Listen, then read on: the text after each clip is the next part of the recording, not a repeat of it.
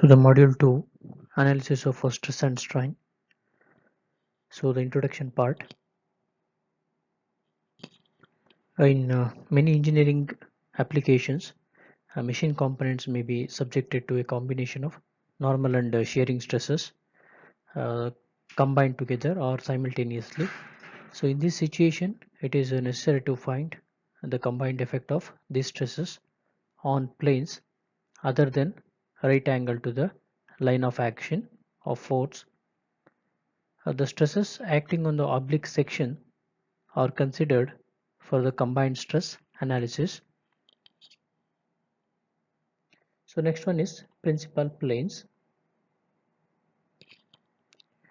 So uh, it has been observed that at any point in a strained material uh, there are three planes they are mutually perpendicular to each other which carry direct stresses only and uh, no shear stresses. A little consideration will show that out of these three direct stresses, one will be maximum, the other one is minimum, and the third an intermediate between the two.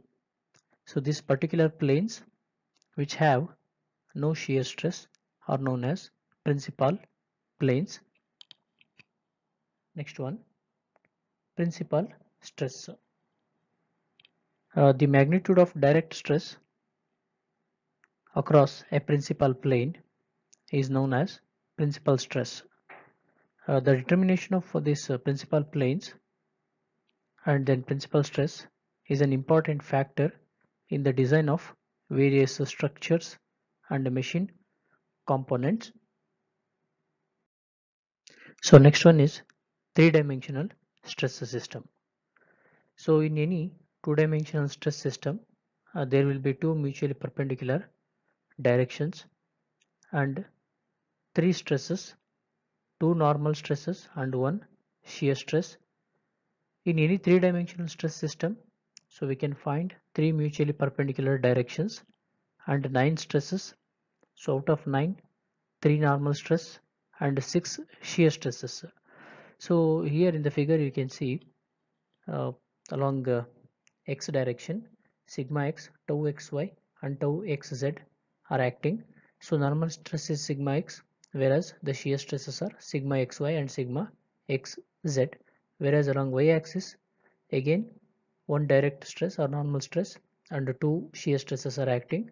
So in the third axis that is uh, z axis one normal stress and two shear stresses are acting. So therefore the normal stresses are sigma x sigma y and sigma z whereas the shear stresses are tau xy tau xz tau yz tau, z, uh, tau zx and tau zy. So these are the shear stresses. Uh, the stress components of a three-dimensional coordinate system can be represented in the form of the stress tensor.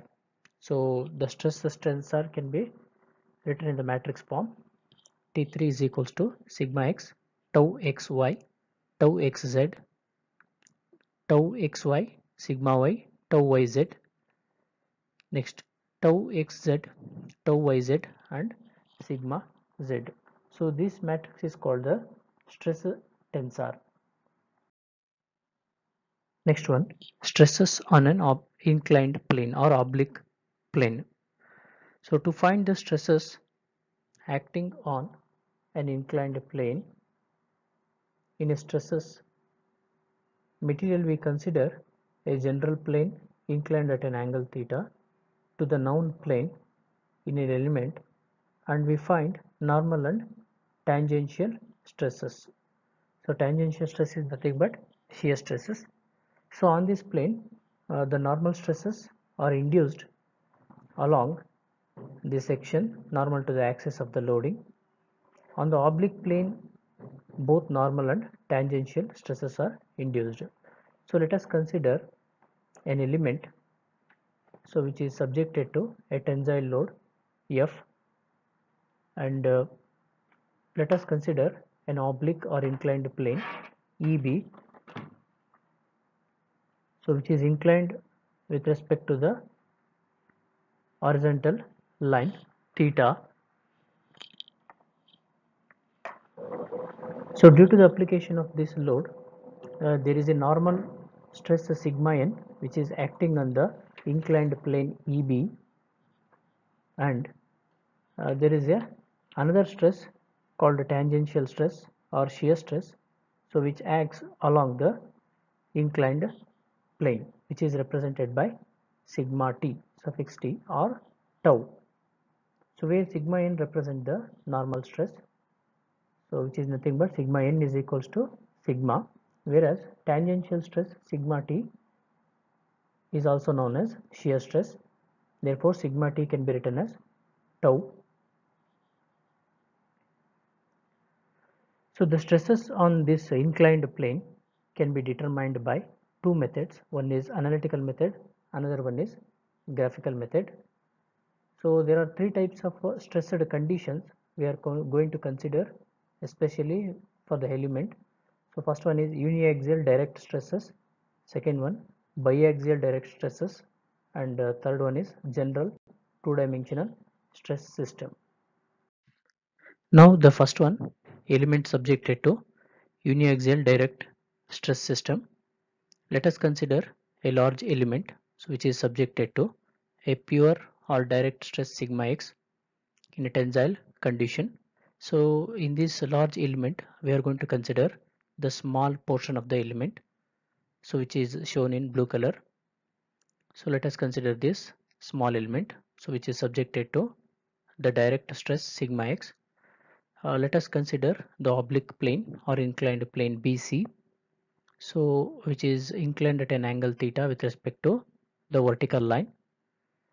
So on this line a normal stress n which is induced by an angle theta with respect to the inclined line now let us consider the small portion of the element so which has inclined plane BC which is having inside angle ABC theta uh, which is subjected to direct stress sigma x. So because of application of these direct stresses so there are two types of stresses are induced along uh, this inclined plane. One is normal stress which is represented by sigma n and having angle theta with respect to the direct stress sigma x. So another one is a tangential stress or shear stress which is induced across the inclined plane and which is tangent to this oblique plane BC which is represented by sigma nt. But uh, I want the forces normal force and uh, tangential forces so therefore force can be written as stress into area. So stress is sigma n then to find the area width into thickness. So since it is having unit thickness so we can consider 1 so like that for tangential forces stress tangential stress multiplied by the area.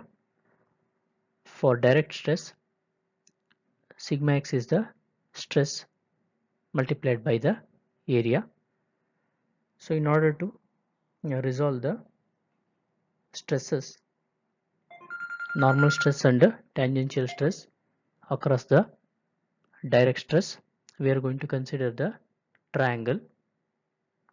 That is so first we have to draw the direct stress that is sigma x into AB so next one normal stress we have to consider. So parallel to this line draw a line in a downward direction so which represent the normal stress. Whereas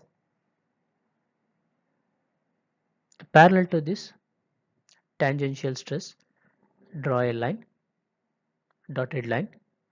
So we, this joins the direct stress by an angle theta. So therefore this is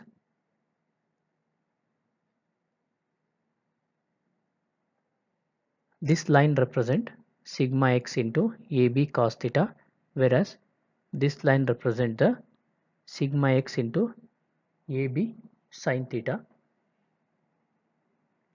So the force due to the stress sigma x is resolved along normal and tangential direction. So first one sum of the normal forces must be equals to 0. So the first normal force is sigma n into BC into 1 and uh, from this triangle so we have sigma x into AB cos theta but in the opposite direction therefore negative sigma x AB into cos theta is equals to 0. So there is no other forces which is acting parallel to this normal stress. Therefore only two forces we have to consider. So then sigma n can be written as sigma x into AB by BC cos theta but AB by BC is nothing but cos theta. So from this triangle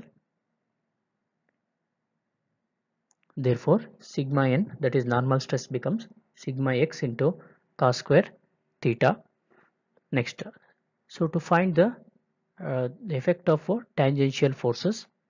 So we are going to consider the sum of the tangent tangential forces which is acting on the member must be equals to 0 so the first tangential force which is acting on the inclined plane is sigma nt bc into 1 so the other so we have to search for the other forces which is acting parallel to this. So we have sigma x ab sine theta in the opposite direction therefore minus sigma x ab into sine theta which is equals to 0 therefore sigma nt can be written as sigma x into ab by bc sine theta. So ab by bc is nothing but cos theta from the triangle. Therefore sigma nt can be written as uh, cos theta or uh, cos theta into sine theta can be written as sine 2 theta by 2 therefore the normal stress can be written as sigma nt is equals to sigma x by 2 into sine 2 theta. So to find the resultant stress, so we can use this equation sigma r is equals to root of sigma n square plus sigma nt square. So this equation gives the resultant stress which is acting on the member. Now let us solve the problem. A circular bar of diameter 25 mm is subjected to an axial force of 20 kilonewton as shown in figure. Find the stresses on a plane making 30 degree to the plane of axial stresses and also on the plane which has maximum shear stress. So this is the given figure. So if we see this figure, so we'll come to know uh, the object or the bar is subjected to only one direction load so which indicates that so it comes under uniaxial direct stress system. So therefore we have to use the formulas which are related to uniaxial direct stress systems. And it is having an inclined plane uh, that is which is making 30 degree to the axial stress now let us see how to solve this problem. So first we have to find the direct stresses because only uh, direct loads are given. Using that load we have to find the direct stresses. So therefore, so we know the general formula of a stress sigma is equals to a load upon area. So the load which is acting on the member is uh, 20 kilonewton therefore 20 into 1000 and area. So it is having circular cross section and diameter is 25 therefore pi by 4 into 25 square. So after simplification we got 40.74 newton per millimeter square. So next using this direct stress and with the help of uh, the angle uh, that is the oblique plane which is inclined to the plane theta value directly we can find the normal stress. So that is normal stress is equals to sigma x into cos square theta. So this is sigma x value whereas theta value is 30 degree so substitute sigma x and the theta value here after simplification we got the normal stress 30.55 Newton per millimeter square. So next one, so we know that uh, shear stress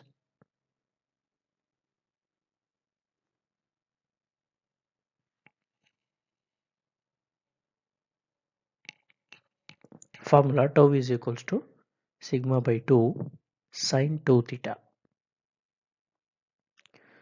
So the sigma direct stress value, so we got 40.74 into sine of 2 into 30 therefore 60 degree sine 60 degree divided by 2 so after simplification we got 17.64 newton per millimeter square.